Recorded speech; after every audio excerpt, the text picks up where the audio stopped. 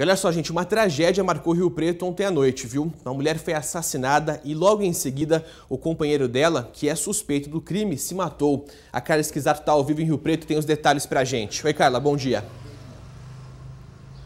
Oi, Casagrande, bom dia a você, bom dia a todos. Olha só, o que se sabe até agora é que Tiago Daniel dos Santos, de 32 anos, ele que é o suspeito de ter cometido esse crime, era usuário de drogas. A polícia acredita que ele tenha matado a mulher, a Keila Cristina Miranda, de 30 anos, e depois cometido suicídio. Os corpos foram encontrados depois que o padrasto do Tiago percebeu que o enteado não tinha dado mais notícias. Ele foi até a casa da vítima e chamou a polícia. O caso foi no Parque da Cidadania, Zona Norte Norte, aqui de Rio Preto. Segundo parentes das vítimas, Tiago já tinha passado por algumas clínicas de recuperação, mas tinha recaídas com frequência. Os vizinhos também disseram para a polícia que o casal brigava bastante. Os corpos de Keila e Tiago foram levados para o Instituto Médico Legal para serem submetidos à perícia. Só depois do laudo é que será possível determinar qual dia em que ocorreram as mortes. A Keila não tinha filhos, Casa Grande. Já o Tiago deixou dois filhos fruto aí de um outro relacionamento.